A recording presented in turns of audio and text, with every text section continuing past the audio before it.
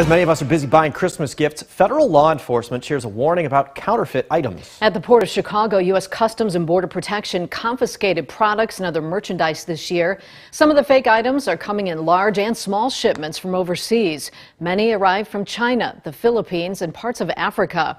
Federal officials say the counterfeit goods impact the economy and global supply chain.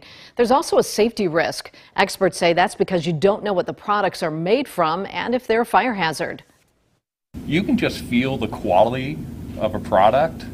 And, you know, when you know it's supposed to be leather and it feels like plastic, it, it's a good indication that it's a fake product. The, the truth is, when you're buying something online and you're buying it through eBay and you're buying a handbag that normally costs $1,500 and you're paying $50 for it, it's a fake bag.